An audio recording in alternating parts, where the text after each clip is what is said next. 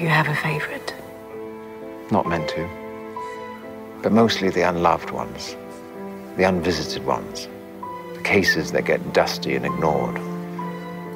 All the broken and shunned creatures.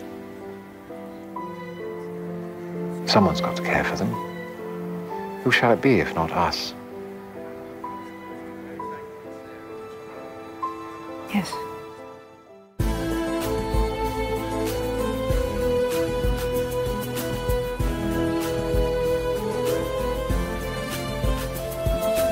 Welcome to Rune Soup, a weekly podcast about magic, culture, and the very best new and old ideas for living in this world.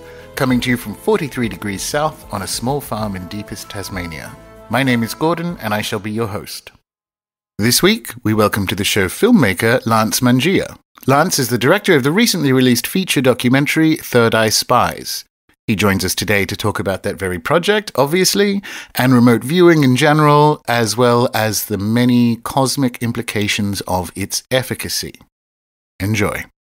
Lance, welcome aboard. Oh man, thanks for having me, Gordon. This is great. I appreciate the interview. Oh, look, I mean, congratulations on the film. Um, I, I, I think it's fantastic.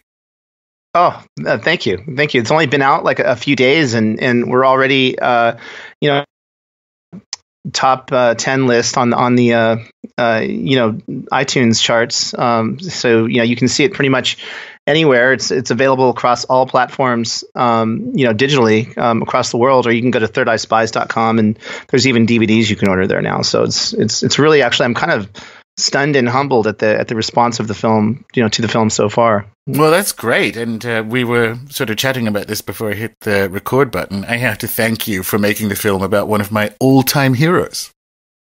Ah, Russell Targ. Absolutely, absolutely. yeah, mine too. Yeah, mine too. Actually, cool. Well, we, um, I mean, I'm going to have plenty of questions uh, about that as we move further through the show. But we have a traditional first question, Lance, which is: Were you a weird kid? Um, probably. You know, probably. Like, uh, you know, I was, I was always, uh, I think, somebody that that um, you know, I used to go and lay out in the backyard and just look up at the stars, imagine, you know, what was out there. And it seemed really silly to me to think that, uh, you know, like that there's nothing else out there but us. You know, that was a question that always sort of I wondered about. And, um, you know, and then I would tend to have like a, a, dream about like little small things. And then the next day you wake up and, uh, you know, you dream about a butterfly and you wake up and there's a butterfly outside the window or something, you know, little things like that, but that you kind of just kind of chalk up to, uh, you know, just your imagination, or oh, it's it's it's just nothing. And and then I stumbled across, you know, Russell Targ, and I stumbled across actually when I was a kid, a um a, a little, an old Reader's Digest article uh, that you know my grandmother had a prescription, a, a, uh, you know um, a subscription to, and it was about army remote viewers and you know basically the fact that the US army had been using psychics to spy. And I thought that was such a cool idea because you know the other thing I was always really interested in was was movies, you know, and and how I, I, really wanted to make one, and I would like write little scripts and kind of act them out, and did a ton of plays and things like that, and and so I kept that Reader's Digest article for years, you know, when I was a kid because it was uh, you know something I thought would make a cool film, and many many many years later, I just very randomly uh, you know met Russell Targ, and and that led us to to make the documentary that you we are talking about today. So, um, well, one of the questions was how that happened. But before we get to it, does that mean the kind of interest in uh, topics like this predates film? Uh, it's because I get a lot of artists who are involved in, you know, sci or magic or the paranormal on the show, and uh, and it's very difficult for it seems talking to these people for a, a creative to separate them to kind of go, I'm not sure which one came first because it is about inquiry into the world. I mean, is that your experience, or did you like the weird well, and then think you want to make films about it? Um, no, it was it was really kind of hard to separate because uh, I always would write things about weird things. You know, I would always, you know, um, I loved fantasy, I loved sci-fi, I loved, you know, all of those things. And I think it was really when I became an adult and I got into the film industry after leaving film school that uh, people try to pigeonhole you as an artist. They try to, you know, make you something that they can market and sell. And uh, it wasn't something paranormal. It was I was actually operating more in sort of the action and you know sort of music video type you know industry at the time when I first started many years ago, and um, so you feel like oh I have to be like that, and and and actually it was only when I sort of developed a lot more control over uh, the material that I was doing that I sort of said, you know, no, I want to I want to tell stories about things that I like, and this happened to be one of the things that I really like, and and I think that actually. Uh, you know, I'm finding more success in doing that, which is, I think, always the case, right? Oh, you know, that, that does appear to be how the universe works for yeah. sure. Uh, so, yeah. when you say you want to make films about things that you had an interest in, did you kind of stay up to date in the uh, sort of 20 year unveiling of different bits of kind of the Stargate program and, and or was it you always had in the back of your head your grandmother's Reader's Digest article and you'd hopefully one day come back to it? Did you, have you read, you know, prior to meeting him and you read Russell's books and, and Jim Marrs's Patchy book and, and that kind of stuff? Um, I, I had, uh, well, when I was a kid, there was no such thing as the internet. There was no such thing as computers even until I was in grade school. I think I sat um, in the first class that had the Apple IIe, you know, when I was in probably, I don't know, uh, third, fourth grade or something like that. So, so it was not as easy to immerse yourself in a in a subject. You know, I lived in a little small farm town in Central California, and uh, you know, grew up in a family of farmers. So I was about as far away from anything sort of weird, or or, or maybe closer to it. I don't know, but but um, I was not immersed in the subject matter because I had no bookstores that I could go read a book about something. I had no other people around me that were interested in sort of the paranormal or, uh, you know, some of the stuff that I kind of was interested in. And so for a long time, I, I just sort of thought it was my own kind of little hobby that I, I liked, and I would just channel that into short stories and plays and things like that. But I wasn't really uh, you know, didn't know anybody else was, was interested in something or not, you know. Um, and then many, many years later, um, when I sort of decided that I needed to sort of find out more about who I was as a, as a person. Um, I kind of, you know, I took up meditation and I, I started reading a lot of books. I had some spare time and I uh, would read many, many books about the paranormal and, uh, you know, things like that. And, and, um, and that's when I really decided that I would make that a part of my creative life for real, you know, as, as sort of a priority. And, and, um, it took me a long time to do that, you know, to, to, to really come to that. But, um, you know, probably 20, 2009 10 11 you know the, in that, that period i really sort of just started doing that. I started blogging on on my uh, website uh, on wakinguniverse.com you can still see some of those blogs there uh, which also now is a metaphysical shop actually. Like my wife um, runs a metaphysical shop called waking universe on one side of our business and i run a, a studio you know for film on the other side. So you know we're, we're very self-contained so we can be close to our daughters like how we do it here. Um, from then, um, you know, I started doing a, a television show for, uh, you know, really just kind of an online TV show that was also on public access uh, called Waking Universe, where I would interview sort of people who were interested in uh, weird things, I guess you could say, but um, but always trying to be grounded, you know, from a very sort of a grounded perspective because it was part of my own education in terms of how I sort of viewed the world you know like what did i think about the world? So i would bring you know people on. Everybody always wants to be on a tv show so they would i would get some really great guests. I had like paul selig on who's a very well-known writer now um, did the i am the word series.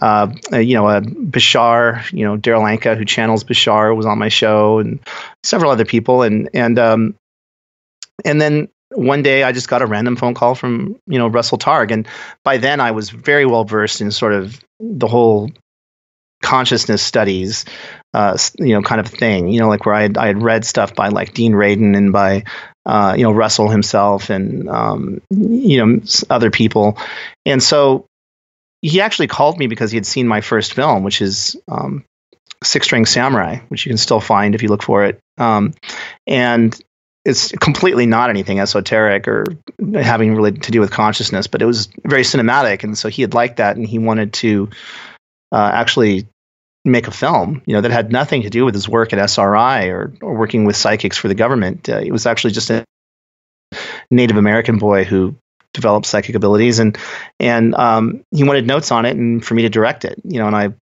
read it and I gave him notes and I said, you know, I think that's cool, but the real story here is the 20 years that you spent, you, you know, um, at SRI. Um, it was actually 10, but there was a 20 year program, uh, you know, spying with psychics for the government. I think that's fascinating. You know, and he said, oh, I, yeah, yeah, I guess we could talk about that, you know, like, and, and, and it just sort of grew out of that first conversation.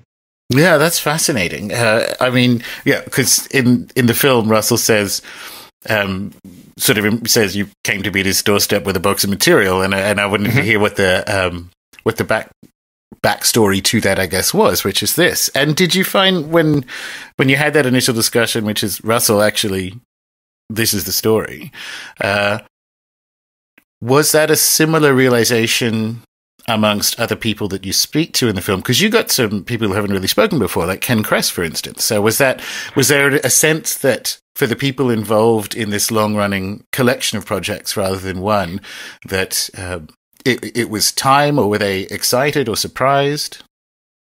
Well, um, first off, like you know, when when Russell showed up at my door, he literally did show. He said basically we had one phone call, a conversation for about three hours, and and then he said like you know well you know I, will I'll um you know I'll come out to L.A. and he, he lives in San Francisco, and he said I'll I'll come out to L.A. and, and let's talk about this further. And and you know a few weeks later he he did come out to my house and he stayed for three days at a hotel nearby and and um, showed up with just this big case full of all of this documents and pictures of remote viewings and all of this weird stuff. And and um, by then I was I was very well versed. I thought you know in terms of what uh, psychic abilities were. What the, I'd had pl- plenty of my own you know personal experiences to know that there's really something there. You know since since I was a child, but even then, as he was sort of unpacking all of this for me, uh, and and telling me a lot of the amazing things that they did, I started to think like, man, you know, could this all really be real? You know, like what you know, and and I I started to because I still sort of try to always be a little bit skeptical about stuff, and and I think discernment is so key because you know these days there's so much information flying around everywhere that it's very easy to just get lost in a cloud of of junk, you know, and and and you have to kind of keep your wits about you and understand what's real and what's not. So I, I thought to myself, you know, if I'm going to make this this film, it has to be really solid. And and, and I would go to bed at night and, and just wondering, like, you know, how am I going to document all this and, and how do I prove all of this actually happened? And uh, about the third day of our conversations, he gets to stuff like congressional hearings. He gets to, uh, you know, the fact that presidential cabinets were briefed and um, they had fans throughout the military, and and a lot of this was um, all recently declassified and was now available through Freedom of Information Act. And and uh, when I heard about the congressional hearings and those things, like that's when it really hit me how big this project was. You know, we were not talking about two little scientists in a lab somewhere with beakers and kind of just doing their things in isolation, which which really has always been the case when it comes to parapsychology. We're really talking about an industry uh, that that grew up around SRI and for the government and and uh, you know very very important people being fully briefed and actually actively using this stuff and and so I thought then my next question was who will actually come on camera and do this? And, and, really my prerequisite for, for devoting a serious amount of time to making this film over the years was all right, if, if we can convince at least a majority of the, the players that were involved originally to come forward and, and actually be in the documentary, um, then I think it'll work because we're not just relying upon the word of Russell Targ or the word of Lance Mungia. We're, we're relying upon the collective weight of the history and the eyewitness testimony. It's you know, I often liken it to Shoah Foundation and what they did for the for the Holocaust survivors. Not that this has anything to do with that, but that when it comes to something so unbelievable in polite conversation, you know, the only way that you can really get a handle on it is through the sheer weight of firsthand testimony. And and so that's the way we looked at it. And actually that's the pitch that I gave the people who were in the film and they all went kind of like one well some were more eager to talk than others but the begrudging ones were like yeah uh, yeah you're right yeah we need to put it on film okay we'll do it you know you know because no matter what i think the people who were involved, um, it touched all of them. Like the work touched all of them, even the ones who initially were very skeptical. And Ken Kress, for example, uh, who you mentioned, was the CIA undercover physicist who was in charge of the remote viewing program at its inception. Uh, you know, and um, he was not a, a, psychic guy. He was not esoteric in any way. He did not know or care about any of this stuff. Um, he just was looking at data, and he saw that the data he was getting had unexplainable, uh, you know, connections in it, um, and started to find that useful. And um, and then really wanted to get to the bottom of it as a scientist because he was a scientist himself, and, and he felt that it needed to be taken seriously, you know, for that reason, and also because it was you know fairly useful. And uh, and he said himself, you know, the CIA was the worst place to do science and actually you know prove something because the CIA didn't really care about that. They just wanted it to work, and it and it did. And um, so, you know, we attracted a, a huge sort of score with a lot of the people that were, you know, in the film. You know, we had Edgar Mitchell. It was actually Edgar Mitchell's last you know, interview. I think the last real interview he did before he passed away, and he was the uh, you know sixth man to walk on the moon. You know, um, and he was instrumental to the beginning of the program. And we had, you know, Hal Puthoff. Oops, sorry.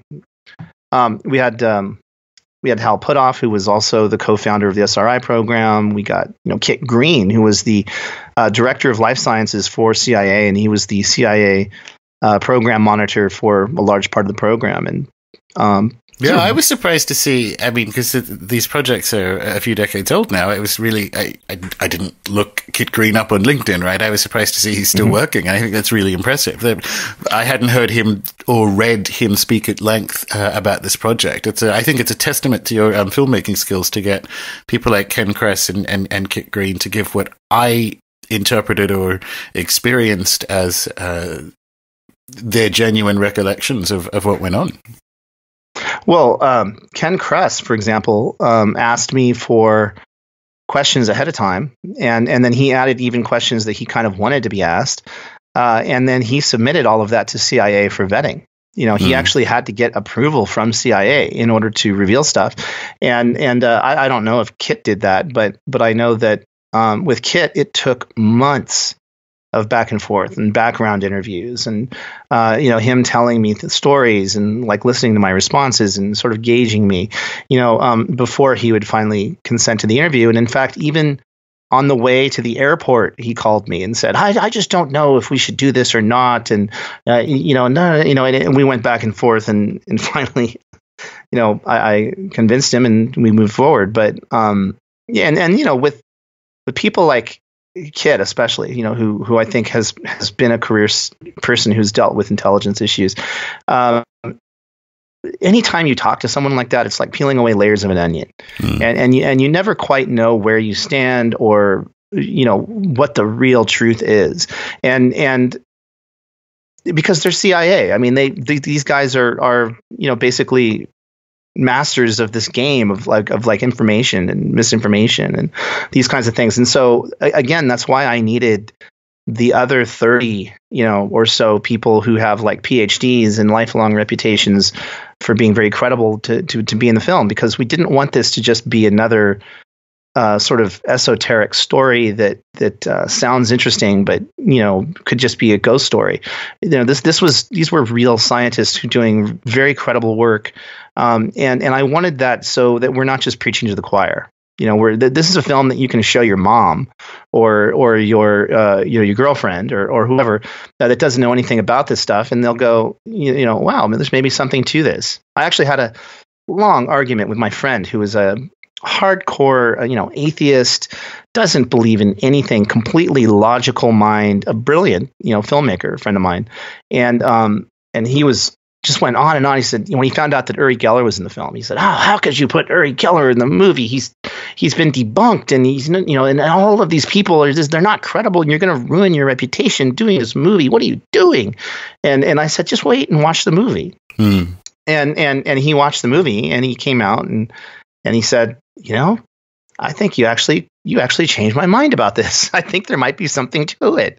You know, and and it for him, he needed the PhDs after the name. You know, he needed uh, somebody like Brian Josephson, who's a Nobel Prize winner for for quantum physics and and uh, you know professor at Cambridge for many years. You know, we went to Cambridge and interviewed him because he has um, you know talked openly about the existence of psi phenomenon and and studied it and uh, and actually really been maligned for it, you know, in the scientific community because uh, there's a lot of stigma and bias to this stuff, and and and these people who are just brilliant scientists have all experienced it. It made them all kind of gun shy in a way. Yeah, but they all want to talk. Yeah, the capacity for the film to be something you can share with someone who I think has reached wrong conclusions about psi because they're not in possession with, you know, uh, not in possession of the right kind of information. Uh, we have this game occasionally on the podcast where I ask people, or, or the, like, there's a hypothetical barbecue you're at, and there is someone there, and they do not believe this stuff, and so we have like a short list of books. You mentioned Dean Radin, one of his um, his latest one, Real Magic, is is an example of it. But this film goes right on that list of, um, okay, well, let's have this conversation once you've watched that film. For that reason, I think I think it's a really um, it's a really solid and coherent case, and it isn't preaching to the choir. So you have people who have been in other um, films or videos or so on, and, and great people and, and, fascinating stories. So Hal, of course, and and, and Russell and and um, Joe McMoneagle and so on have, have spoken about their experiences before. But yeah, you got much more of the crew involved in it, and and as you say, hard science um, career. Uh, PhDs. I think it's uh, I think it's a really really I, polemically, I think it's useful. I think it's useful to be able to point to a, a, short list of films, particularly for people who don't read, and go, "All right, we'll go and watch this then." Mm-hmm. Mm-hmm. I, I think you're right, and and you know, I had heard uh, Joe McMoneagle talk, and I had heard. Uh, you know, and, and, even after I started making the film, like I, he, he did a great talk to MUFON about you know remote viewing extraterrestrial stuff, and uh, you know being asked to do that and everything and and you know you hear any one of these people even russell speak and and you go well that's really interesting. And then you kind of move on and you and you kind of go gee i wonder if that guy was for real or not. You know but but it's not the weight of the entire community. You know the the the the weight of the community and the work that's being done now and the work that's been done and and uh, you know because skeptics tend to take this and cherry pick it. You know, they'll look for like one thing, like Uri Geller bends spoons. Oh, he's been debunked. Uh, you know, it's so easy for a magician to fake bending a spoon. Well, can he bend spoons or not? I don't know. I'm not a, um, a, an expert that can test that. But did he do scientifically grounded, proven remote viewings in a laboratory setting where, um, in a Faraday cage where he was shielded from any kind of signals or uh, anything else where he could have been cheating?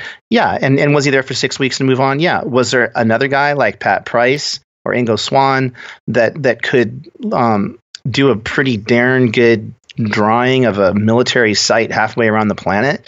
Uh, you, you know, yeah. Yeah. And, and how do you judge that? How do you is a skeptic to say about that other than I just don't believe it? You know, it's like you you there's not really a way of arguing that because you can't actively fake that unless everybody that's ever been involved is completely on the take. Uh, and and I even thought about that. You know, I thought, hey, maybe maybe this is like a giant plot that the CIA is putting out. You know, but then you go someplace like the International Remote Viewers Association, and you see normal everyday people using psychic abilities uh, to to guess uh, you know targets and to look where someone is is currently located in another part of a city. And and they get you know they're not they're not writing a, a novel about it. Uh, you know they're not they're not giving you know what the guy's having for lunch but but they're able to give you a pretty good description of the room that he's in even if they've never done it before you know. And in fact sometimes the best results are from people who have never done it before. So what does that say about us as human beings? You know, you know that that was really the the key point I wanted to make the film and, and why I stuck with it for you know years making this film because I felt like there's something wrong with the model. There's something wrong about like the way we look at ourselves in the world and the way that the world actually works, you know, scientifically. We're missing something really key here. And I think that's consciousness. I think that's our own sort of observation. You know like we're we're a part of the experiment all of us and we're connected in some way that we still don't understand scientifically. So um so that was really something that that drove me and i and i think it's very hard to pin down which is why it's very hard to come up with a mechanism as to why it works and and why it's easy to debunk you know because you can say oh well you know i tried it and it didn't work or we tried it in this other lab and it didn't work and well it's because consciousness is fickle you know you can't just flip a switch and then something works the same way every time and that that's what science likes Did speaking of beginner's luck, did uh, did Russell ever try you out when he when he showed up with that box? Did you uh, did you get an early session of him uh, seeing how good you are at it? Uh, you know, purposely, I tried not to do remote viewing because I wanted to be just impartial and, you know, just follow this. And it's like it was a rule that actually the scientists at SRI had originally adopted, which was, you know, don't be a part of your own experiment. You know, like, you know, Ken Kress had said that, you know, I, I decided I would never be a remote viewer because I didn't want to drink the Kool Aid. I wanted to be able to look at this, you know, objectively and facts. And, uh, and, but, you know, the first probably the first time that Russell and I went out to a meal. You know, we went to this little sushi place near my house, and he pulls out his phone and he brings out this iPhone app, you know, ESP Trainer, which is an iPhone app that he made uh, to test and to train psychic abilities. You can actually find it on on um, the uh, iTunes. I'm sorry, the uh, the Apple iTunes Store uh, for your phone. I don't get paid anything for it. It's a completely free app. I'm not trying to sell it, but it's there. And and basically, it's a four choice random number generator, and you're going to pick one of four buttons that that are going to light up. Um, you know, and which which one is the random number generator going to pick? You're going to pick that number. And he gave this to me. He goes, "Here, you, you know, you try it." And I mean, I was like a dismal at it. I'm getting like five out of twenty or something, you know. And and um, and he said, you know, the odds of you missing that many are are incredibly uh, you know high. I mean, you you he said you're you're basically using what's called reverse psi, you know you're you're actually like afraid that you're going to get the right results so you're actually using your psychic ability to uh, get the wrong results again and again and again and so yeah, that's, so I that, I like that term. There's similar phenomena in magic because however the, these things work, they're obviously working in the same way, just with different words, right? That's really fascinating that you got the uh, you're like anti psi. yeah, yeah, and and and you know I'm also and I'm also I know a little bit about the esoteric, esoteric sides of this as well. I mean, I do a lot of reading, and I, this stuff just fascinates me, even just as a creative person. And and and you know, it's this this has been called many names throughout time. You know, the, the, the Greeks did this, the the the Hindus did it. You know, the Buddhists do it. I mean, you know, all of them have names for this kind of stuff. Two thousand years ago, um, Patanjali, you know, um, in the Yoga Sutras wrote. Um, you know you're on the path to enlightenment you know you maybe uh, will see and, and and experience places that are far distant you know um, in the past and in the future. You you may um, you know be able to see things that are hidden uh, you know but don't worry about that too much. It's just they're just signposts upon the path to enlightenment. And don't do, don't, don't get too caught up in it because you can get lost. And and uh, you know that, that blows my mind. I mean you know these the, ingo swann you know, who was one of their most successful psychics, coined the phrase remote viewing. But um, people have been looking at things at a distance using their minds since the beginning of time. Yeah, and uh, funny you mentioned Ingo, uh, and we were just talking about Joe McMoneagle and doing and their stories of using RV to look at things out in space. Was there a deliberate decision to? Leave parts of, I guess, the Fort Meade story out where they were doing, there were people remote viewing things on the backside of the moon because that's one of the more interesting for the overlap in this stuff with, you know, general quote unquote credible ufology. There's a really interesting part of that. I mean, Ingo, as is in the film, um, identified rings around Jupiter before uh, we actually could see that they were there. But there was more mm-hmm. interesting stuff, or not interesting, uh, the story gets stranger as it gets further away from SRI, but nevertheless appears to have happened. And I noticed that that kind of Fort Meade stuff was uh, underdescribed. Is that a deliberate decision to try to get the hypothetical person at my barbecue to be convinced of the phenomena, or were there? Did it? Did the discussions well, if, if, not land where you want there? No, no. Um, it, it, it was a, it was a deliberate decision, and and and the deliberate. And I had read like Penetration, Ingo Swann's book, where he talks about remote viewing the backside of the moon and, and these kinds of things. And um, Russell Targ and and Hal and a lot of these other scientists that were involved whole lives trying to defend the work that they had done and and and you know these are not woo woo you know people who who uh you know are are are saying anything without the credit the the um, the data to back something up. They're just looking at data. They're looking at what's there. Now it did change. I think everyone that I interviewed. I mean, everyone that I interviewed, I feel like was probably a more uh, a more coherent soul you know because of the work they had done because you can't when you're looking at the data you can't help but realize that we're all connected in some fundamental way and it's the same thing that all of the great masters said you know so you, you can't get away from that but but in terms of the discussion um, russell would say again and again only one believable un, only one unbelievable thing at a time. And and and that was really about sort of to me anyway, remote viewing and, and, and this work that was done for the government is sort of like a gateway drug for people, you know, because you, you, if, if this is possible, then like I said, there's there's something wrong with the model, and then you you have to open up the possibility that you might be wrong about other things as well. You know, now the danger of that is that you get lost in fantasy and in in sort of speculation, and and anything that was remote viewed that we can't really prove um, might be an interesting anecdote, but you can't prove it. You know, um, and and and therefore, so for someone who's a skeptic, they go, ah, you know, they they say there's bases on the moon, but we can't prove that. So the whole thing is just BS. And you know, I don't know. You know, I don't know, but but um, I can tell you that that there were many, many things that they did operationally for the government that only the U.S. government could actually prove and did. You know, were were successful. You know, so you know, you and I could go look at uh, you know Soviet submarines all day and put pins on a map as to where they are, but we can't verify what's there and and there's the rub you know? So so when it came to something like spoon bending or it came to something like um, ets I, there's a ton of stuff and a ton of remote viewers will, will tend to talk about those types of things. Um, but for the film you know um, one unbelievable thing at a time. You know esp is real you know that's plenty you know you, you if you can bite that off and and and believe it as a as a sort of your everyday sort of layman going about their day then all of the sudden the world becomes a much more connected place and it becomes much more um, sort of a magical place for people, you know, and, and they tend to they'll look at the, the world a little bit differently, and hopefully they'll have a little more understanding for their neighbors, you know, and and maybe the planet, you know, and, and so that was really the goal. Um, but that said, um, in another project, I might very well, you know, discuss all of that stuff because there is a lot of it out there, and and that is also equally fascinating. You know, um, it very well may be that we have been wasting our time building giant radio telescopes and searching the universe for, uh, you know, radio broadcasts.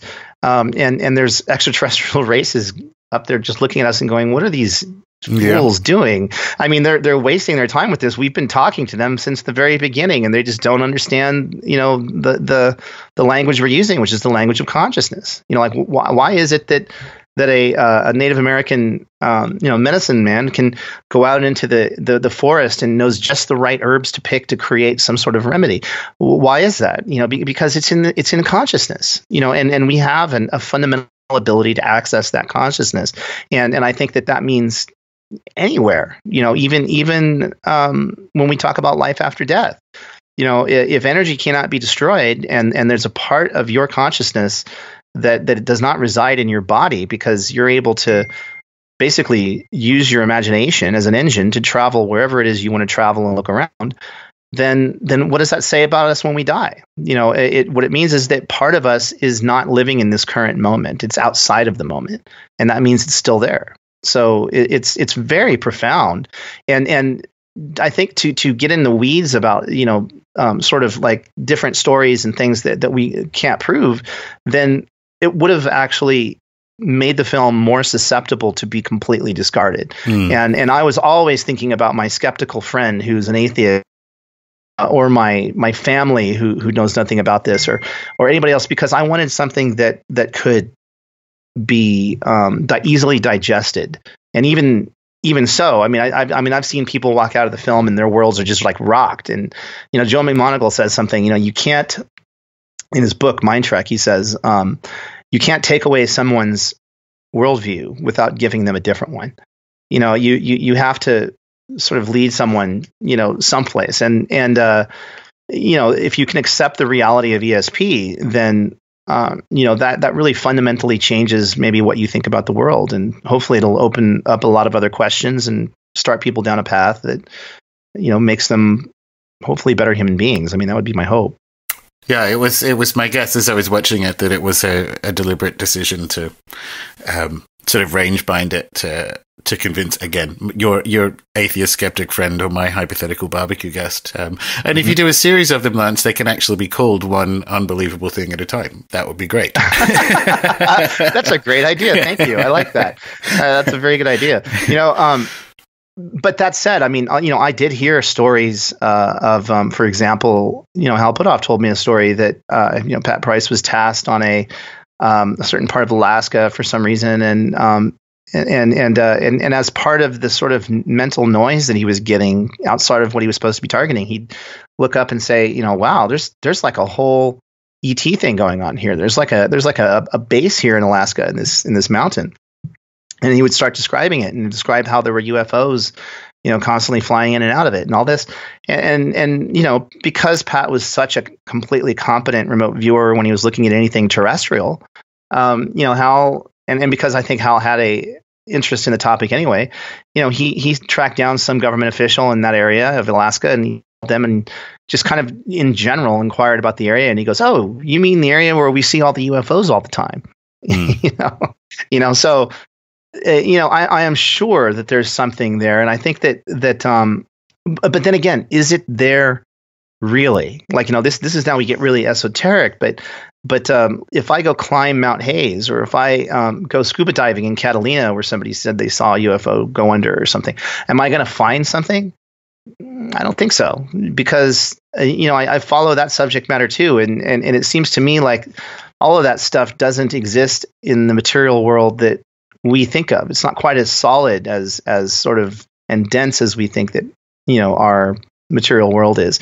So um, it, it's incredibly possible that that stuff is operating somehow outside of dimensional space or outside of space and time in some way that we completely don't understand. So when and even Ingo Swann alludes to that in in penetration.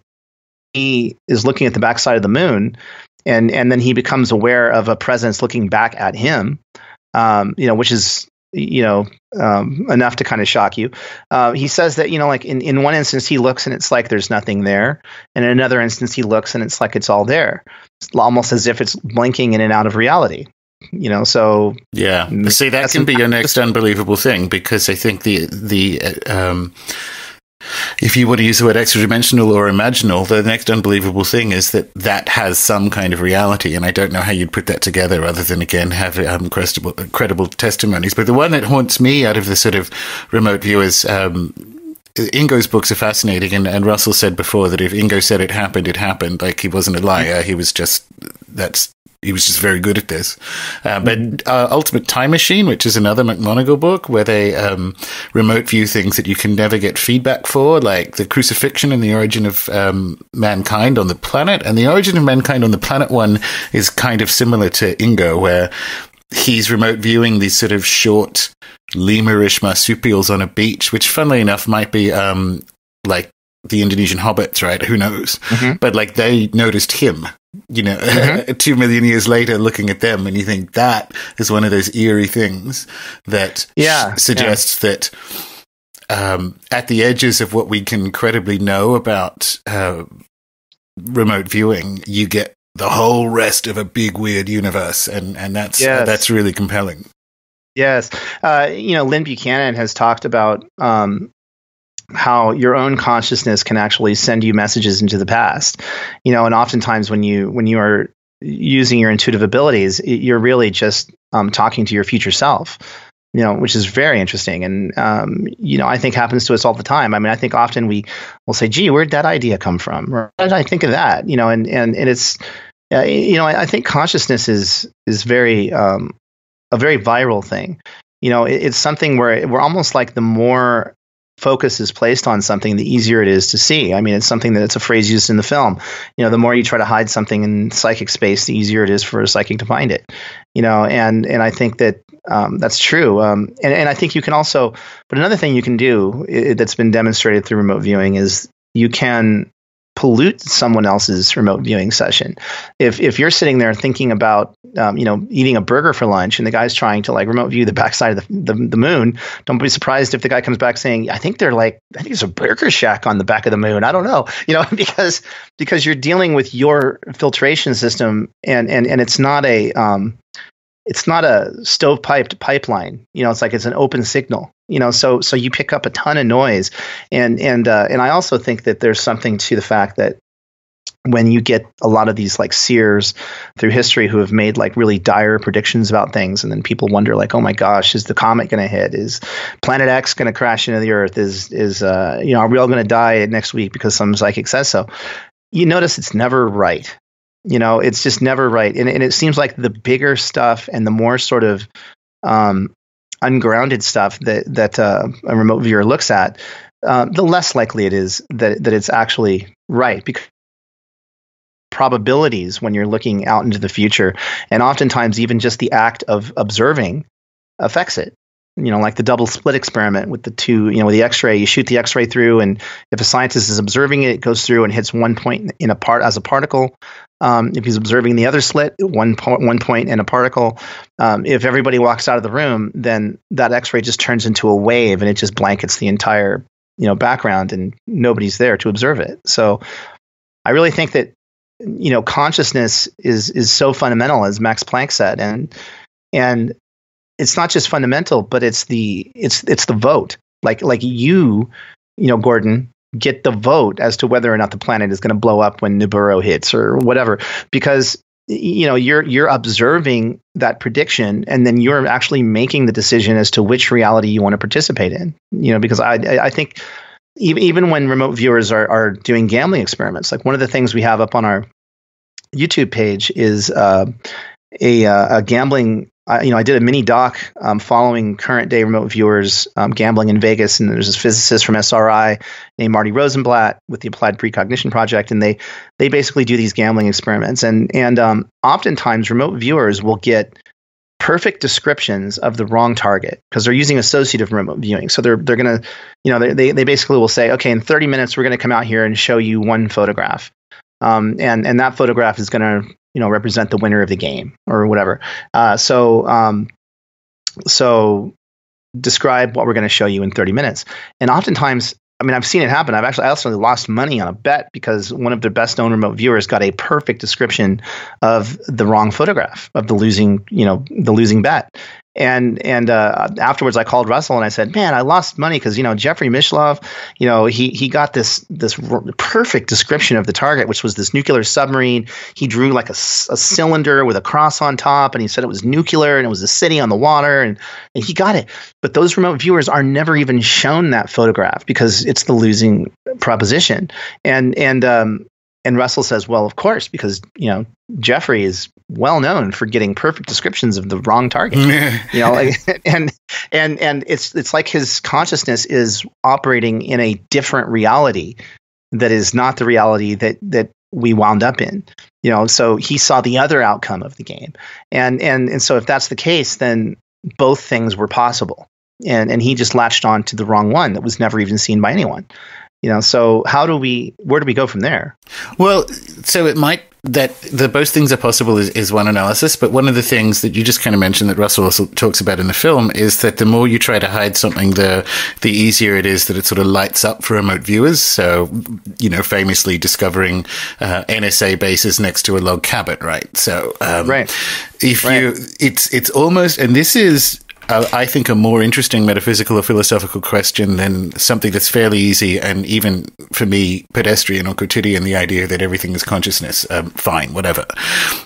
Meaning structures reality because mm-hmm. you, and that like that is the reasonable conclusion from the fact that bigger or more dramatic events or more intense or more secret things. So how is how is that embedded in the universe? And I wonder when it comes to gambling um, experiments whether there isn't something to do with that. And here's one, which was how I would structure another, say, um, silver market experiment would be to say at the beginning that whatever money we make is going to go to a um, uh, an ocean charity or like a marine reserve or, or, something, so that you don't actually get it. Because I think two things happen there. I think if meaning structures reality, you might be hitting up against some kind of rules, or you are definitely hitting up against something. And this might be Jeffrey's pro- not problem, but this might happen in Jeffrey's mm-hmm. head that we grow up with really um, toxic ideas about abundance and, and money and lack. And, and if you're trying to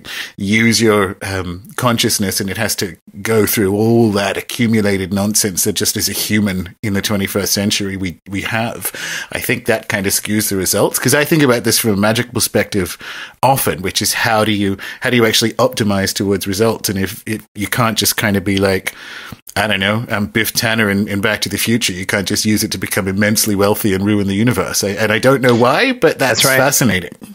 Well, um, I mean, we have to get a lot more esoteric when we when we talk about that kind of stuff, and that's great. I love doing that. I, I have my own, you know, personal beliefs and all this stuff, but but it's it's um, it. I think what you just said was very very um, profound and interesting, and and you've definitely studied all this stuff. You you really get all this stuff, and and I think that there is something to be said for uh, just like me, how I I chose to get. I was basically using psychic ability to get all the wrong answers on the ESP app wrong. You know, it, it's very similar when you're doing gambling experiments or or any kind of experiment where you have to repeat the same sort of thing again and again.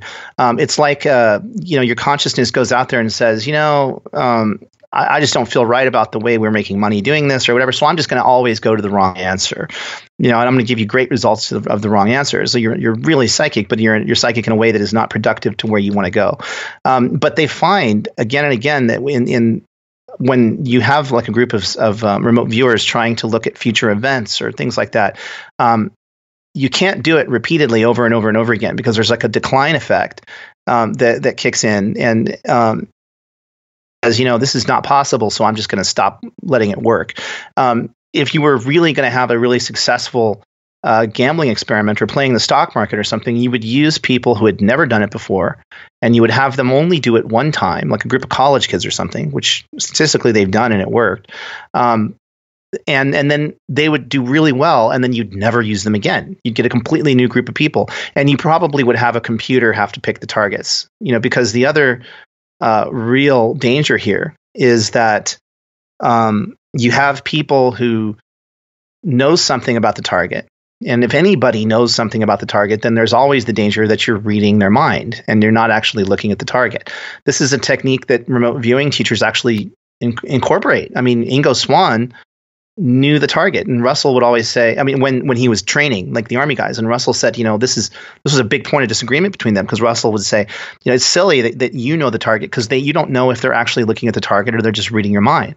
Now, that alone is an incredible thing. I mean, just as a layperson hearing that, it's like, oh yeah, he was just reading his mind, no big deal. But but also, um, it contaminates the the uh, experiment. You know, like um, I, I, recently a friend of ours, you know, called us and said, "I'm selling our have my house in Florida because, um, you know, um, I was part of this big remote viewing experiment, and we all came back with the same thing. There's going to be a tsunami on the mm-hmm. East Coast in December, and I got to sell my house." And I'm like, "Don't sell your house." You know, there's uh, there's not going to be a giant tsunami. You know, it, it, there's never the giant tsunami. You know, the, the, the uh, psychics were saying this stuff all the time, and and you have a vote in that. You have a vote in reality. Don't live in that one. If your if your emotions take you down that road, you know, maybe you'll you know get splashed by a giant thing of water or something, but it's not going to be a tsunami that kills millions of people. It's not going to happen. And and um and it of course didn't happen. You know, it, it didn't happen. You know, that was in like 2017 or something. So the the thing is that that where our consciousness sits is is is important and and it's consciousness is so viral that it, it, could have been that all of those really good remote viewers, like maybe one of them had a real fear of water yeah, or, exactly. or uh, had experienced some really bad thing.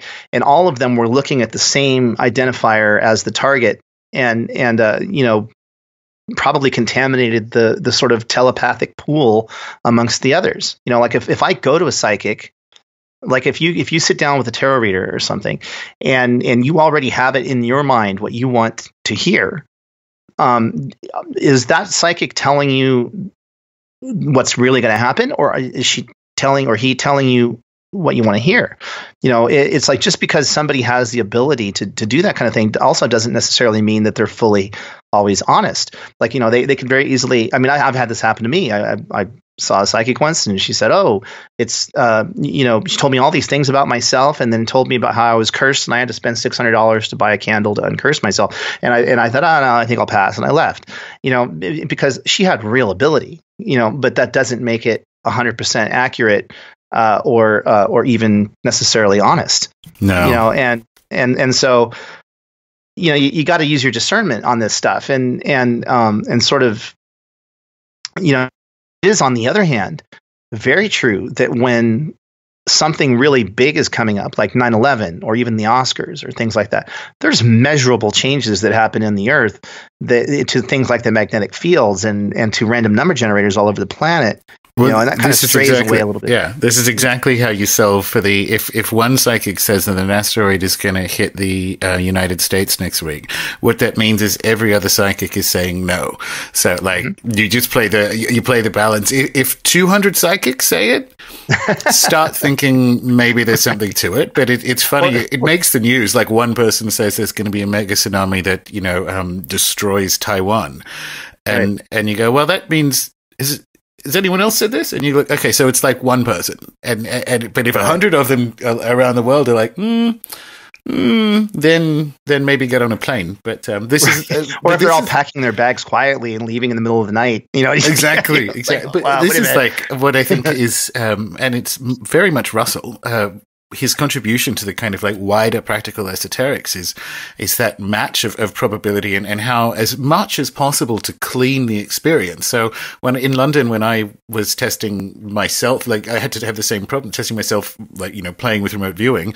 I went to Notting Hill markets and bought a bunch of old photos. Like you can buy them for like a couple of pounds, just, you know, old photos and stuck them in envelopes and randomized them and, and that was the best I could do as like a one person experience. But it's still I mean it worked, but the thing is I still knew um, I just picked up a handful of photos and tried not to look at them, but I still knew some of them.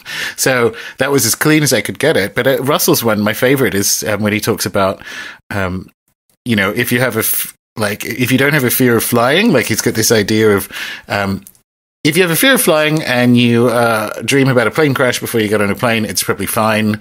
Um, if you don't, maybe think about it, you know, and, and that, that kind of thing is, is, uh, is really, really useful for people who are, whatever they're doing, meditating, remote viewing, um, exploring other methods of divination.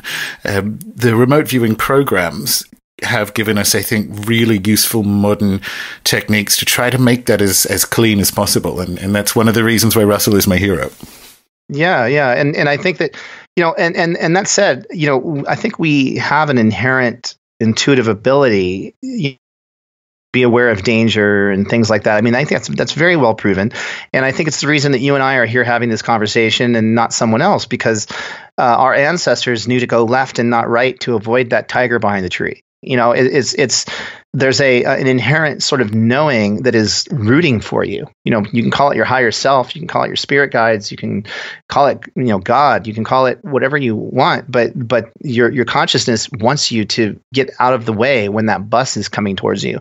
You know, and and like for instance, um on 9/11, you know, statistically, there were far less than usual people in the World Trade Center that day it was like spooky how few people actually were killed. There actually should have been a lot more people killed, but a lot of people just didn't didn't show up to work that day.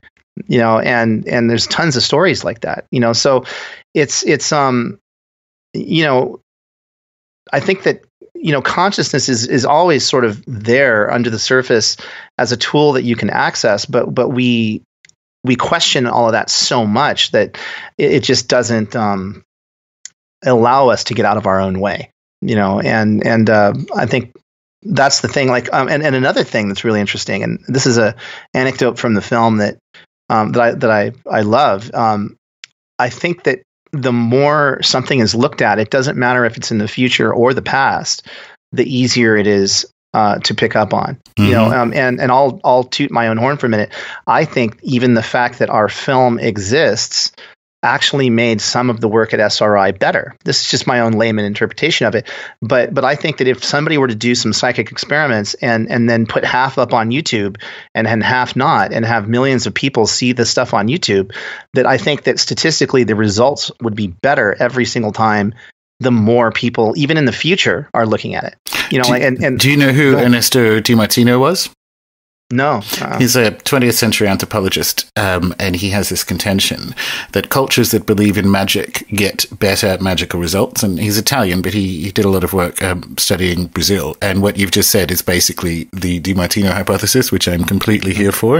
Um, mm-hmm. If you open up, and this is one of the things why a film of like yours is so important for people to see, um, the more people are aware that this is actually real, the better we get at it. And, and that is, seems to be foundational to the universe. Um, if you look at people like Rupert Sheldrake, who, who observes that really difficult crystals form faster. So if you, if you're trying to put together or coalesce a crystal out of a, um, a, a, chemical solution that hasn't that is either unstable or hasn't been put together before. The first time the crystallization happens is slow, and the next time is a little bit faster, and the next time is a little bit faster. And there's something about doing things for the first time mm-hmm. or opening it up that is kind of like the meaning thing. The universe is yep. the implications of this are quite eerie, but I, I completely agree with you that um, the more people are aware of these programs, um, and and the more, more, specifically, the more people are aware that humans have this as a natural capacity, the better we get at it. Yeah, I think that uh, for one thing, our film is going to really upset the apple cart in that it's going to really open up a lot of people to the possibilities of this, which I think does, in a sense, affect the collective unconscious, mm-hmm. you know, um, or or superconscious, you know. Um, but I think that what you're getting at, and I think what I'm getting at too, is that what we're really talking about is the origin of life. You know, I mean, I, I think that that everything resol- revolves around uh, sort of the conscious focus you know that, that we bring to the table you know and and i think that everybody else brings to the table as well you know not just us but but you see it again and again it's like the um like the hundredth monkey effect. I'm sure you know about that. Mm-hmm. You know, like the, you know, the, you, a hundred monkeys on an island figure out how to use a particular tool, and then every monkey and the entire spe- species, no matter where they're located, are, are also able to use the tool at that point. You know, and and you know, it's a and they've done uh, repeats of that study. Uh, you know, even in England, uh, you know, there's a particular type of uh, bird that that uh, um, figured out that it could fly down and tap the top of a, um, a milk carton that the you know milkman leaves in front of the, the building and and get the cream out and and uh, and then once a small population of those birds figured it out, birds all over the island were were figuring it out and, mm. and able to do it. You know, and and so it's it's it's like um, it's like when you're the first person to do something somewhere, it's like you're blazing a trail that then makes it easier for everybody else to follow. So um, you know, and it's and it's uh, I think it has to do with coherent uh, thought. You know, like you can have a ton and ton of chaos, but like one person who really gets it uh, like a like one of the great masters, like a Buddha or somebody. You know, um, it's it's like those thoughts are much more viral than than all of that chaos around it. You know, it's, it's kind of like the way you light one match in a room and you eliminate that whole room, no matter how much shadow is there. You know, so so our consciousness um, is like um, like a, an amplifier you know or, or you know it, that signal goes out and then it and then whatever you're thinking uh, especially if it's if it's a conscious coherent thought if it's a if it's not like just complete gibberish then other people are able to pick up on that that's why the radio is invented on two different continents within days or the airplane or uh, you know on down the line all of these innovations once somebody figures it out then um, it just becomes easier. And and you know, Lori Williams, who who is one of the uh, remote viewers that are contemporary that we interviewed for the film, and she she's a very very well respected teacher of remote viewing. She has a company called Intuitive Specialists, um, and one of the first things she said to me when we were talking about her students in, in the film she's the one that's uh, teaching the russians at the end. She's got this group of russians in los angeles and she was teaching them. She said you know i tend to use the same targets over and over again uh, in these classes because um, once anyone has looked at the target uh, even if it's a class a year later and another person randomly selects that same target, um, it somehow makes it easier to see. Uh, the same way that even if the same person looks at a target over several days, um, it's like it blazes a trail uh, to the target in consciousness that's making it easier to see because of the repeated focus. You know, and I thought that was fascinating because of what it says. Um, you know, about sort of the effect of when a lot of attention is placed on something. No, absolutely, um, absolutely. So towards the end, I, I, we mentioned before I'm a bit of a nerd for this material, and and a few things. I'm going to ask you some detailed questions um, but uh, detailed but brief questions about, I guess, the history of the program and new things I learned. So when Russell met Hal in 1972, he said, I think I've got some money for this research, right? That's in the film. Mm-hmm. Where whose money was that? If it was before the CIA meeting that they went to, so where was okay, like, so, the hypothetical first money before the CIA? Well, this gives me an opportunity to plug my YouTube channel because um, on the YouTube channel, um, which is uh, Waking Universe TV um, on YouTube, um, or just you can type in my name, Lance Mungia, it comes right up.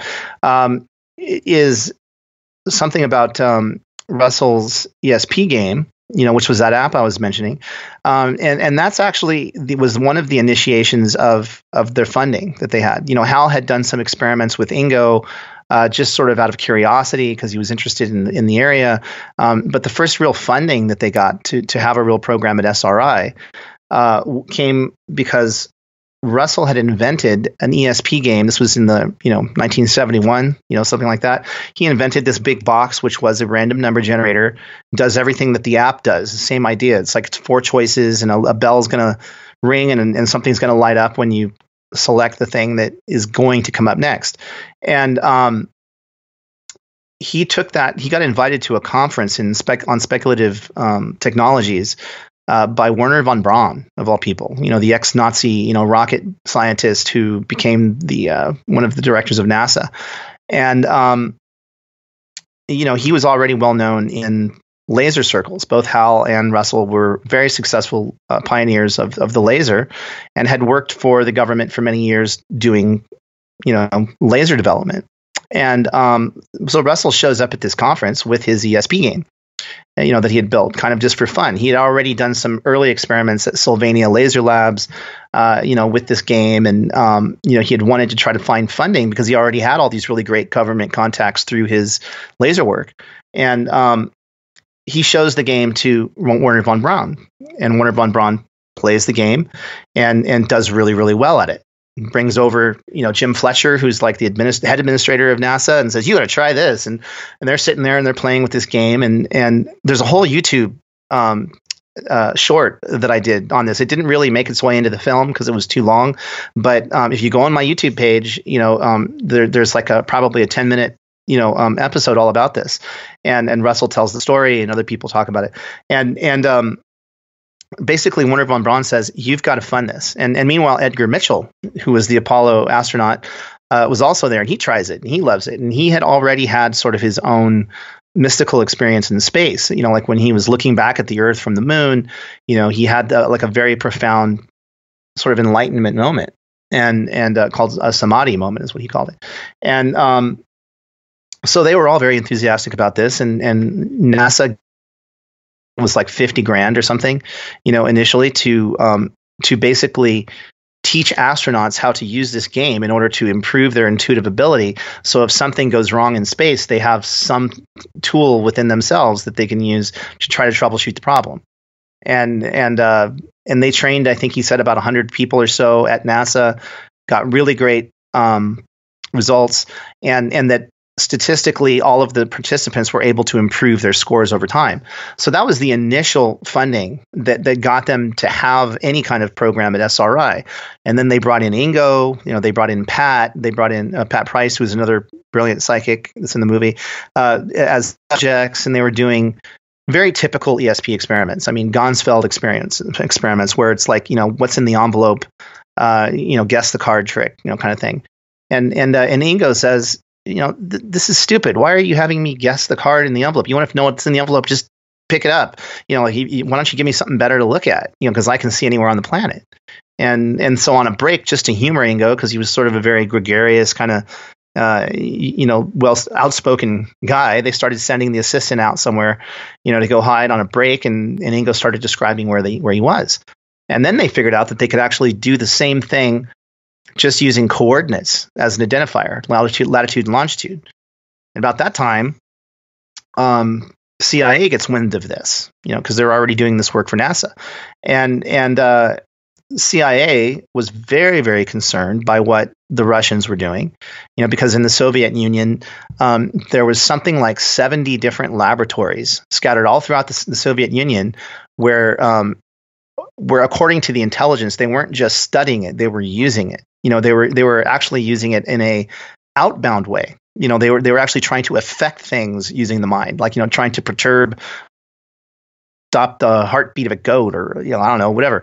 And and they didn't think that any of this was actually legitimate. They actually thought it was all bogus. It was propaganda. But they didn't know. So when they find out that somebody has a government contract already you know studying psychic abilities well kit green shows up at the doorstep of hal puthoff and knocks on the door and says you know we've been looking for you um, and we want to know if this phenomenon's real we don't think it is but if you can prove it we'll give you some more funding. And um, and Hal says, well, you know, we've been using you know coordinates, and he says, and Kit said, you know, what do you mean you've been using coordinates? You know, and so Russell, Hal, Russell and Hal explain this whole thing, and then Kit goes back to CIA. Um, looks around for somebody that knows about coordinates and finds a um, satellite analyst, you know, a sat- satellite photographer analyst, you know, who he knows, and he just randomly says, just pick some random coordinates on the planet that that you know that you can actually verify what's there, and and then give me that, you know. And so the guy did. He gave that to SRI. Both Ingo Swann and Pat Price then remote view what's at the site, and they come back with all of this complicated uh, military equipment and um, you know jeeps and large accordion doors, uh, um, you know, in a hillside and giant radar dishes that are that are um, just tremendously large. And um, and Pat even comes back with um, names of people working at the site and code words and things. Just a bunch of stuff like gibberish that that he he he gets out of this. Both Ingo and and, and um, Pat were doing this completely independently, so they weren't communicating. And uh, Russell and Hal get this, and they just send it all back to Kit. And and then Kit opens this up and he sees this like just tremendously detailed report of what these two psychics get and um, takes it to his friend. His friend says well that's not what i gave you was just the coordinates of my log cabin in the woods. And kit goes well oh that sucks. You know okay well i guess there's nothing to this. So he calls back sri and sri uh, russell answers the phone and goes well that's unfortunate because both of our subjects came back with very similar results so we found that very interesting that they both came up with the same sorts of descriptions. And Kit goes, Well, yeah, that is, you know, kind of odd. So he thinks about it for the week. And then in the weekend, he takes his family on a road trip. He's not too far from this guy's cabin out in Virginia. And uh, as he's driving along the road, he looks out and there's these giant radar dishes, just like, you know, Pat and Ingo had described. It's not not directly at the side of the cabin, but it's nearby. And so he does a little research to figure out like you know what what's there. I mean, it's all there. The the the accordion doors, the a military complex, like you know, and and uh, you know the following week, NSA and FBI and his his superiors at CIA all show up at his office. You having the CIA spy on the NSA. This is a top secret facility that's run by the NSA, and you're not supposed to be looking at it.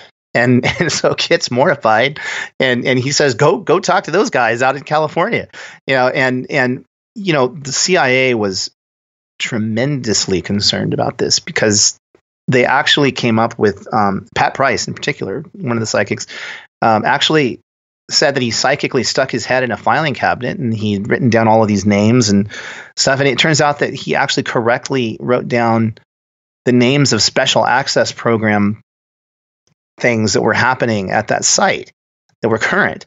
And and so if you didn't have like an above top secret clearance, you couldn't even see that. So how did he, how did a guy who was a Burbank police commissioner who became a subject in a psychic study for NASA actually pick, figure that out? You know, and and he did, and and this sent ripples all the way up to the top at CIA. Yeah. Well, that and, that was another new piece. It's going to be my last kind of like detailed nerd question. Um, in the 1972 meeting with Sidney Gottlieb, uh, something I learned in the film was that he suggested to Russell and Hal that they dose the RVs with um, high amounts of LSD. Now, this is after MK Ultra allegedly or officially ended, and I thought that was interesting. So, did um, do you think it did? This is a hot take, but uh, given that you know Gottlieb was involved in it and and dosing people around the country, he basically sits down with these guys who have psychics and says, "I want to load them up with LSD," which they didn't do because it doesn't work with the protocols. But that was interesting to me. Seventy two is after they officially, you know, a couple of years later said MK Ultra ended, and it just seemed like a very Gottlieb moment. Well, you know, he he Russell has said that um, Sidney Gottlieb was more like sort of like professor emeritus at that time. I mean, you know, he mm. wasn't he wasn't like directing CIA. He was sort of more like just the live-in fixture there. You know, he was he was he had a place of great respect within CIA. So so everybody listened to his opinions. Um, but um, I think he was just talking about the fact that LSD was mind expanding, period. And what Russell and Hal already knew was that LSD would would create a, more like an out of body experience where where the person's staring at like the wallpaper or you know something else. But but with with remote viewing or any kind of psychic work like that you, don't have to be in this heavily altered state. You don't have to do a several hour meditation and you know fast for a week and then do a remote viewing. Joe McMoneagle says he does his best remote viewing for clients now as he's watching Jeopardy at night, when the commercial comes on, he just kind of leans over and starts sketching on a piece of paper, and he does remote viewing. And then when the show comes back on, he goes back to watching his show. You know that that's that's remote viewing. Remote viewing requires that you have to be um, very present within your body so that you can record and and notate the specific things in the images that are unexpected that are coming up in your mind, and you write that down. Um, I don't think that that Gottlieb would have been still using um, the sort of the MK Ultra techniques because um, they didn't really work. You know, like like the the MK Ultra thing and, and using LSD as a, a, way of like sort of almost like a truth serum or, or whatever. That that it, it wasn't something that was a road that that he would have continued to go down. And in fact, uh, Ken Kress talked to me at length about Sidney. I have a whole different a whole bunch of material about Sid Gottlieb actually that that I'll be putting out on the YouTube page oh, cool. uh, eventually. And and um, you know, I we we basically got drunk on glasses of wine, and he just went on and on about about like Sidney Gottlieb and all the stuff that Sidney Gottlieb was doing. But Gottlieb was um, turned out to be a huge embarrassment because when the CIA uh, when this came out that that MK Ultra was had existed and they had dosed people with LSD, um, it was humiliating for CIA. It was a huge out. And and that actually affected everything else, including the CIA's involvement with remote viewing. You know, like like um, you know, Ken Kress was one of the people in charge of sort of putting out those fires and and kind of cleaning it all up. You know, and and and you can actually attribute sort of some of the skepticism within CIA about remote viewing to the MK Ultra sort of debacle, you know, that had happened. You know, and um, and Gottlieb was was very gung ho for sort of the paranormal stuff. Um, you know, and you know, we tend to think of government as this monolithic thing.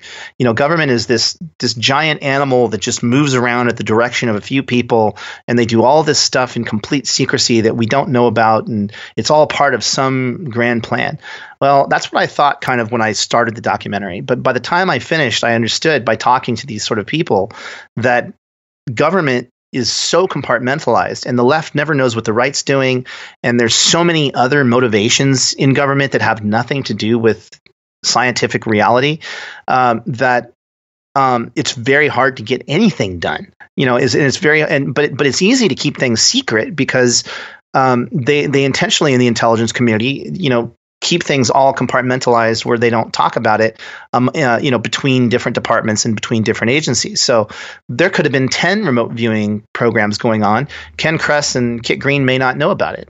See um, that? Yeah. I mean, I know Russell said that before, um, that he uh, would have no idea if it is still going on in, in his exact words in some basement in the Pentagon somewhere. Mm-hmm. Uh, and, and a couple of people in, in the um, film sort of speculate the same thing. It's like, yeah, the, the official end of it may not have been. I've heard um, Hal talk about it possibly being used in the private sector, and so it it gets away from um, Hal and Russell and so on are experts in their own experience with it, but you're dealing with things just out in the wild now, aren't you? Like, who, who, even knows if it's still going on? Oh, it's it's it's going on. It's thriving in in many ways. I mean, I I mean, one of the another thing that'll probably eventually be on the YouTube page is that's not in the film is um, the fact that there's a ton of work being done now.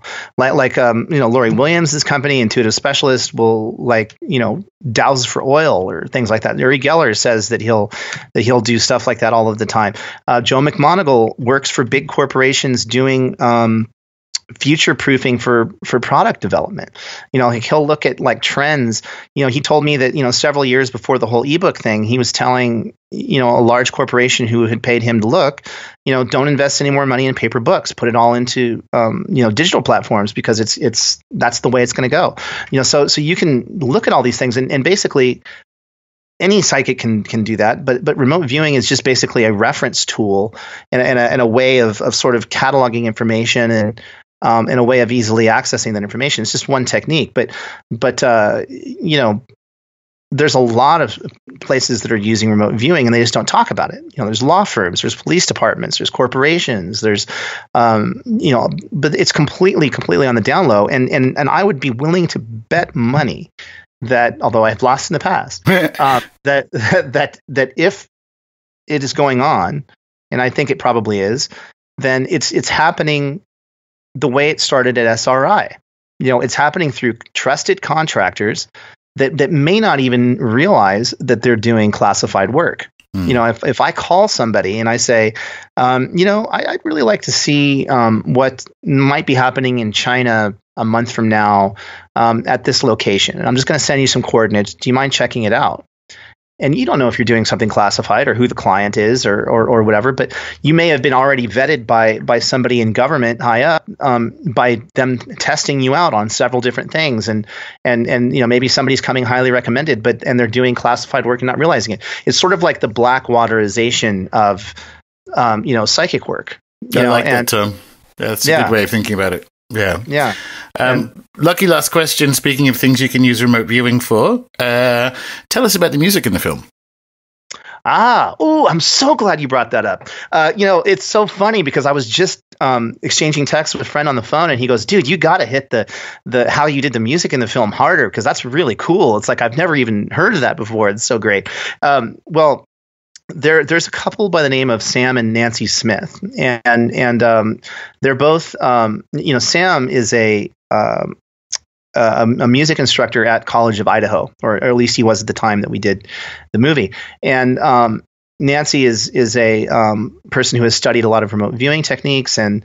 Um, they decided to get together and do some experiments with some of the students that they worked with, where where they would uh, make music through remote viewing. You know well like basically what they and there's a there's a whole extra there's an extra feature that's on itunes uh, that talks all about this. Um, you know if you if you go to itunes and buy the film you actually get like eight really great extra features that are basically mini documentaries and one of which is called music from the fringe and that's the name of the group that they made um, with several cellists college students.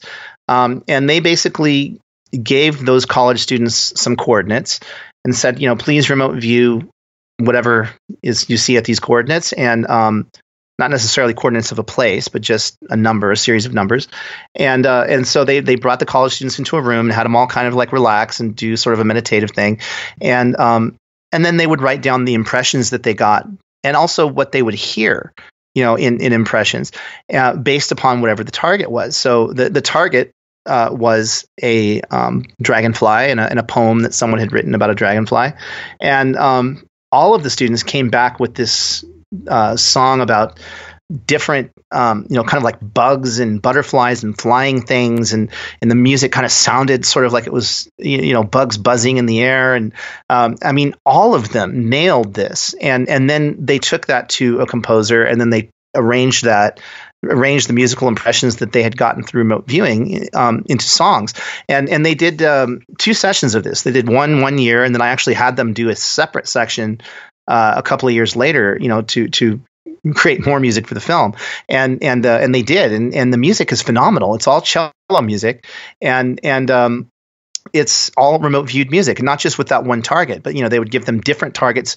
And I actually told them, I said, you know, please give them a target based upon this sort of feeling that I want this particular area of the movie to have. I want this to be, you know, sort of like intriguing and dark and noir like. I mean, you know, show them something like that, you know, and then they would come back with this sort of very like noirish kind of you know, feeling cello piece.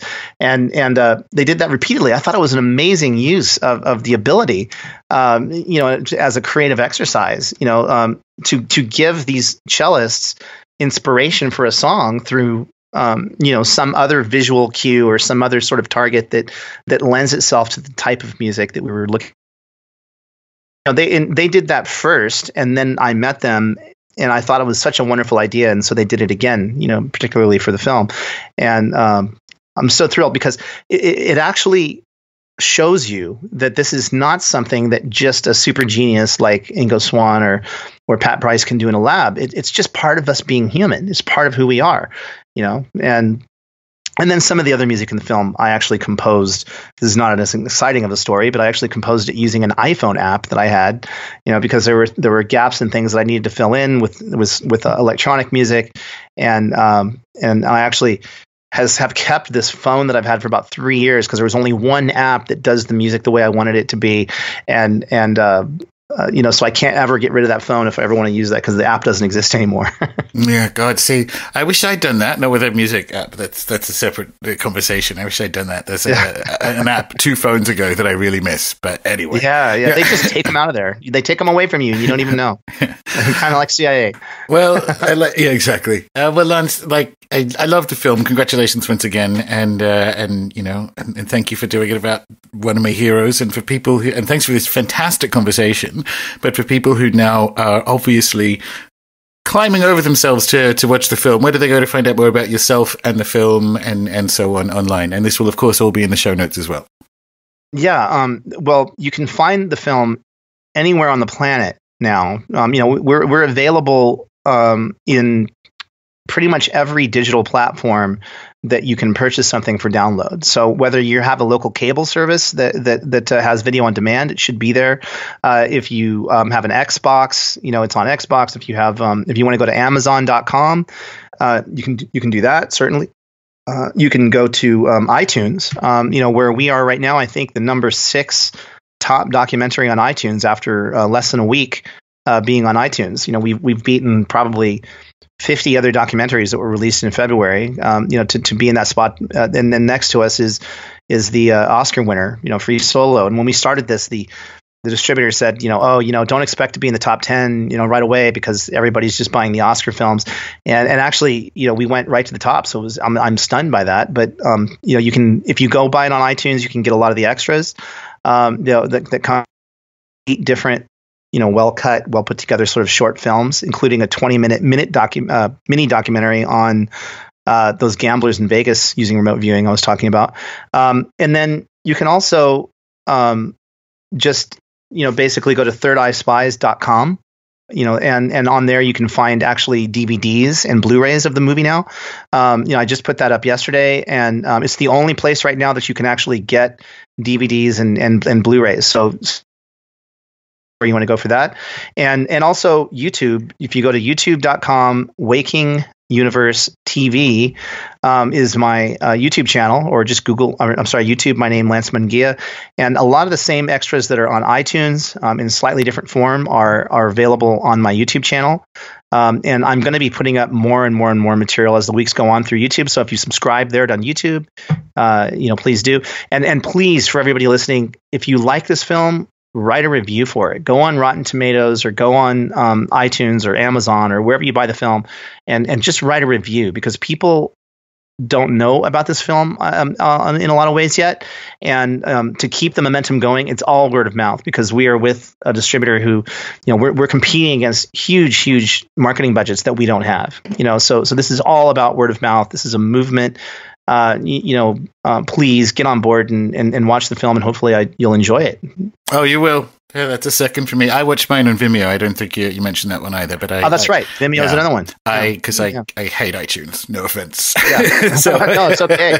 It's okay. I, I, I, you can see a lot of the same extras on the YouTube channel, and you know yeah. I, I, haven't released them all yet, but uh, versions of them are, are all going to be on YouTube. So you're not missing something completely if you don't want to go on iTunes for the extras. You know, you can see them on YouTube as well. Yeah, absolutely. So, and uh, all uh, of this will be in the show notes. And again, congratulations. Um, this has been such a good chat. Uh, I know the film. Uh, congratulations on its success, but I know the success will continue. Um, everyone who's listening to this, if you haven't already seen it, you should. Oh, and and please, um, if you subscribe at thirdeyespies.com, I'm also putting out some of Russell's uh, archival remote viewing data slowly. I'm going to stop. You know, you'll every now and then you'll get a little email or uh, something about what's going on with the film, and and uh, there's some really cool stuff that that that we have. Some of which was in the film, some not, and and that's a great place to see all that raw data. Brilliant. All right. Well, thank you once again, and uh, and yeah, and thanks for your time. Oh, Gordon, it's been a pleasure, man. I love talking about this stuff, and thank you so much for having me, man.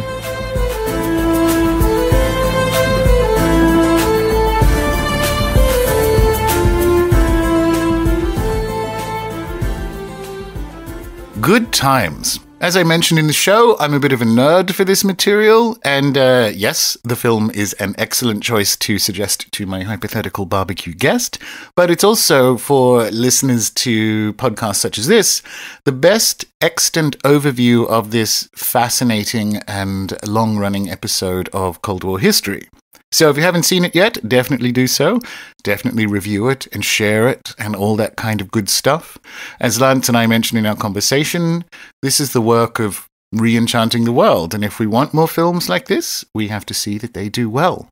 Anyway, that's the show for this week. I am aiming to have the makeup solo show out next week, meaning it might be another uh, two episode Thursday. Uh, between now and then, uh, please do share, subscribe, do all those things. And you know where to find me at this point on the Twitters. Until next time.